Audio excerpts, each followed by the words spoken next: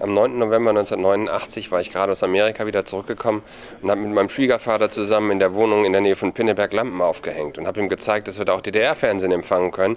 Machte es an und just in dem Moment war die Pressekonferenz mit Günter Schabowski, der gesagt hat, die Mauer geht auf. Die meisten Westdeutschen haben das erst später im westdeutschen Fernsehen gesehen. Ich war perplex, erstaunt. Man merkte sofort irgendwie, die Welt hat sich verändert. Man war ja vorher in Thüringen bei Verwandten gewesen.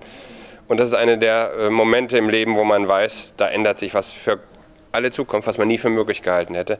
Und das zeigt auch ein Stück Optimismus, der für die Zukunft berechtigt ist, nämlich zu sagen, manches ist möglich, von dem man gar nicht denkt, dass es geht.